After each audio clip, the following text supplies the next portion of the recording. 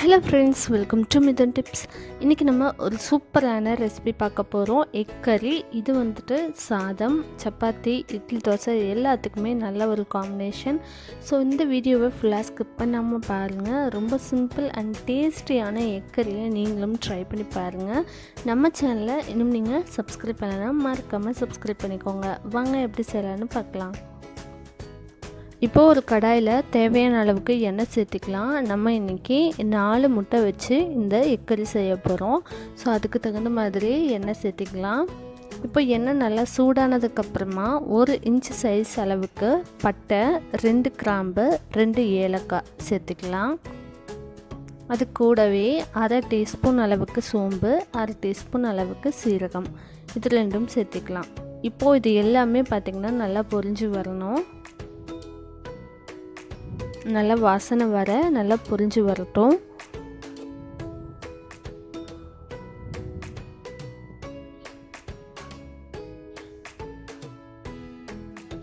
இப்போ இதையெல்லாம் நல்லா பொரிஞ்சதுக்கப்புறமா இதில் ரெண்டு பெரிய வெங்காயம் நீட்ட வாக்கில் நறுக்கி வச்சதை சேர்த்திக்கலாம். இப்போ நல்லா பொரிஞ்சிருச்சு.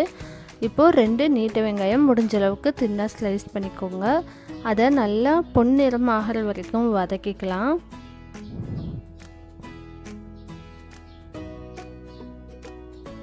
ஃபுல்லாக கலர் சேஞ்ச் ஆகணும். அது வரைக்கும் நல்லா ஃப்ரை பண்ணி விட்டுக்கோங்க. இப்போ நல்லா கலர் மாறி இருக்குது இந்த ஸ்டேஜில் நம்ம ஒரு தக்காளியை நல்லா பொடியை நறுக்கி இதில் சேர்த்திடலாம். மீடியம் சைஸ் பழுத்து தக்காளி ஒன்று இந்தளவுக்கு நல்லா பொடியை நறுக்கி சேர்த்திக்கோங்க. இந்த தக்காளியும் பார்த்திங்கன்னா நல்லா எண்ணெய் பிரிஞ்சு வரணும். அந்த அளவுக்கு நல்லா ஃப்ரை பண்ணி விட்டுக்கோங்க.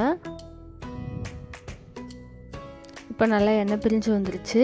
இந்த ஸ்டேஜில் ஒன்றரை டேபிள் ஸ்பூன் அளவுக்கு இஞ்சி பூண்டு விழுது சேர்த்துக்கலாம். அதுவும் நல்லா பச்சை வாசனை போகணும். எண்ணெய் பிரிஞ்சு வர வரைக்கும் ஃப்ரை பண்ணி விட்டுக்கலாம்.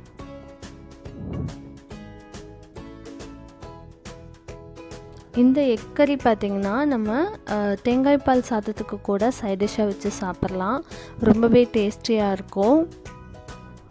இப்போது இது நல்லா வந்துட்டு அடிப்பிடிக்காமையும் அதே சமயம் பச்சை வாசனை போகிற மாதிரியும் ஃப்ரை பண்ணி விட்டுக்கோங்க.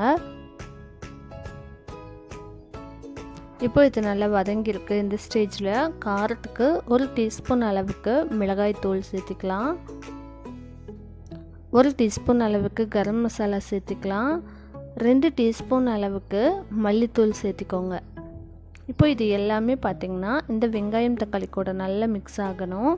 இது வந்து அடிப்பிடிக்காமையும் இருக்கணும். அதுக்காக ஒரு ஐம்பது எம்எல் அளவுக்கு தண்ணி விட்டுட்டு நல்லா வந்து ஃப்ரை பண்ணி விட்டுக்கோங்க. எண்ணெய் பிரிஞ்சு வரணும். அப்போ தான் இது வந்து நல்ல பச்சை வாசனையும் போயிருக்கும். நல்லா குக்காகிருக்கும்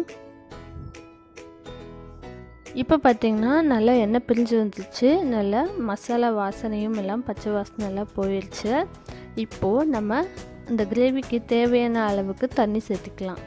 ரொம்பவும் வேண்டாம். ஒரு முந்நூறு எம்எல் அளவுக்கு மட்டும் தண்ணி சேர்த்திக்கோங்க. இதில் வந்துட்டு நம்ம இது கூடவே தயிரும் சேர்த்திக்க போகிறோம் இப்போ இந்த மசாலாவை முதல்ல தண்ணியில் நல்லா மிக்ஸ் பண்ணிவிட்டு ஒரு கொதி வர வைக்கலாம். நல்லா கலந்து விட்டுக்கோங்க தண்ணியில். இப்போது ஒரு கொதி வந்துருச்சு.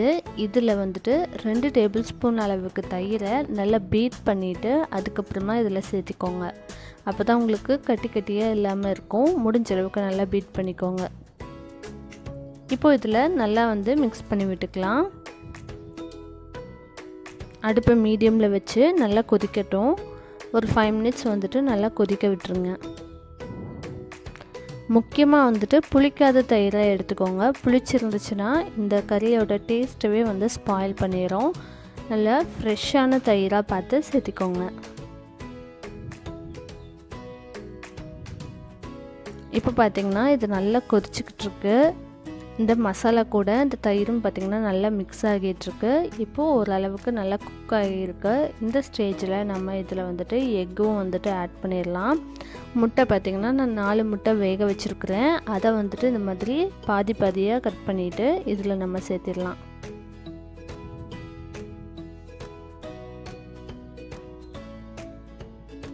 இந்த அளவுக்கு கன்சிஸ்டன்சி இருக்கும்போதே நம்ம முட்டையை சேர்த்துட்டு அதுக்கப்புறமா அடுப்பை லோ ஃப்ளேமில் வச்சுக்கலாம். இந்த மாதிரி சேர்த்துக்கோங்க. சேர்த்துட்டு அப்படியே அந்த கிரேவியை லைட்டாக வந்து முட்டை மேலேயும் ஊற்றி விட்டுட்டு அப்படியே வந்து லோ ஃப்ளேமில் வச்சு ஒரு ஃபைவ் மினிட்ஸ் அப்படியே கொதிக்க விட்டுக்கோங்க. அப்போ தான் முட்டையில் நல்லா இந்த கறி எல்லாமே பிடிக்கும். இப்போ பார்த்தீங்கன்னா நம்மளுக்கு எக் கறி வந்து ரெடி ஆயிடுச்சு நல்லா இந்த முட்டை வந்து இந்த மசாலா கூட நல்லா மிக்ஸ் ஆகி இருக்குது இதை டேஸ்ட் பண்ணி பார்த்தீங்கனாலே நல்ல ஒரு டிஃப்ரென்ஸ் வந்துட்டு தெரியும். ஸோ அவ்வளோதான் இதை வந்து நம்ம அடுப்புலேருந்து இறக்கிடலாம் இந்த ரெசிபி பார்த்திங்கன்னா ரொம்பவே சிம்பிள் தான். ஆனால் டேஸ்ட் ரொம்பவே நல்லாயிருக்கும். முக்கியமாக சப்பாத்தி பரோட்டா கூட நல்லாயிருக்கும். இட்லி தோசை சாதம் தேங்காய் பால் சாதம் இது எல்லாத்துக்குமே வந்துட்டு ரொம்ப நல்ல ஒரு காம்பினேஷனாக இருக்கும். ஸோ கண்டிப்பாக நீங்களும் ட்ரை பண்ணி பாருங்கள் எப்படி வந்துச்சுன்னு சொல்லி கீழே கமெண்ட் பண்ணுங்கள் நம்ம சேனலை இன்னும் நீங்கள் சப்ஸ்கிரைப் பண்ணலாம் மறக்காமல் சப்ஸ்கிரைப் பண்ணிக்கோங்க. தேங்க்ஸ் ஃபார் வாட்சிங்